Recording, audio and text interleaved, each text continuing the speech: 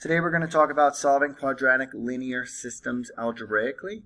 In the last lesson, you would have learned how to take these two equations and solve them graphically by putting each of them into the calculator. Today we're going to do them algebraically. So it's going to include these steps here on the right. The step one, make sure the equation is in the form y equals. Um, for now, I've given you y equals for both of these equations, so step one is already taken care of. Step two is going to be to set both of these equations equal to one another. So you're basically going to take your x squared plus 4x plus 3 and your 2x plus 6 and set them equal to one another. So we have x squared plus 4x plus 3 equals 2x plus 6. Once you have them set equal to one another, you're going to move the terms to one side of the equal sign and set the equation equal to 0. So we need to move this 2x to the left side and the 6 to the left side. We'll use inverse operations, so we'll subtract 2x from both sides. Make sure you line up your like terms. We'll also subtract 6. You could do this in two different steps, or you could do it all at once. These will cancel. You'll be left with 0.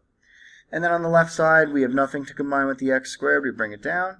A negative 4x and a uh, positive 4x and a negative 2x would give you a positive 2x. And a positive 3 subtract 6 would be minus 3. So at this point, we've done step three. We move the terms to one side of the equal sign and set the equation to zero. For step four, we're going to solve the quadratic equation using the formula. Here's, again, your formula for quadratic formula.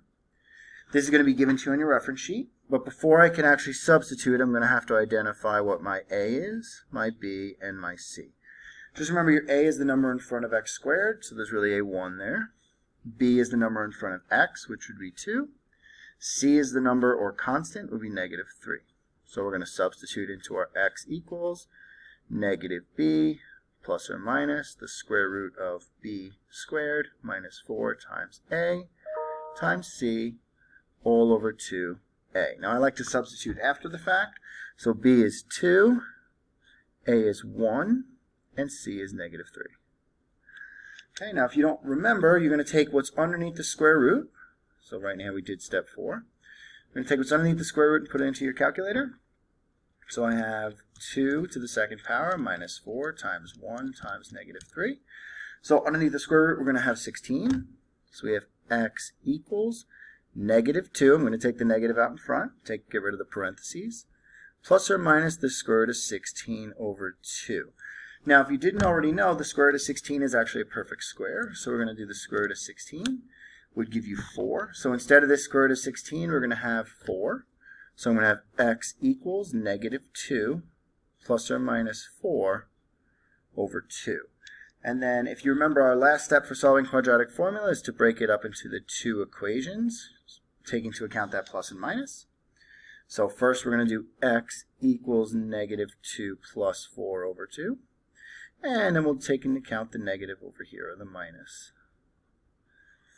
Okay, so then you could put this right into your calculator if you'd like, or you could do it in your head.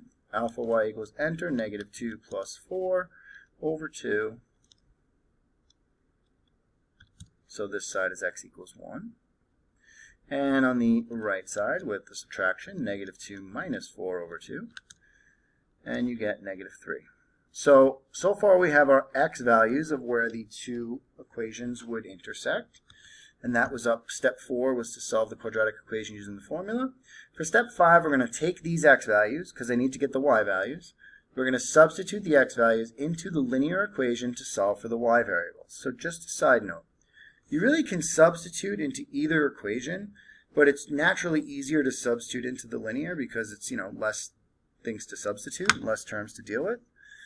So for this one right here, we're going to first substitute y equals 2x plus 6 for each of these, and we're going to substitute x.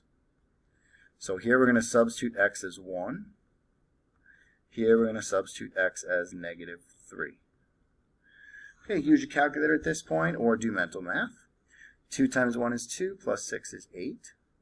Over here you have 2 times a negative 3 is negative 6. Negative 6 plus 6 would be 0. So at this point, I have my x value, and I have my y value, so I can write my solutions,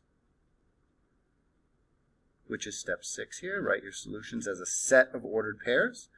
So my solutions here are x value 1, y value 8, so the point 1, 8. and the point negative 3, 0.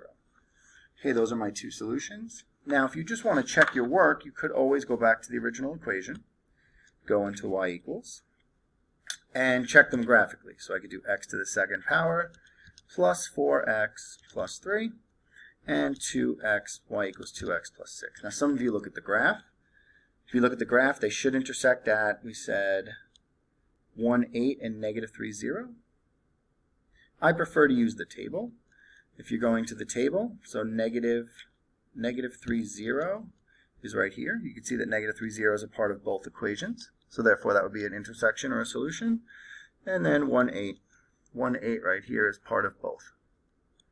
You would follow the same steps for any equation. The only thing that might differ in each equation is the fact that step 1 might not need to be done.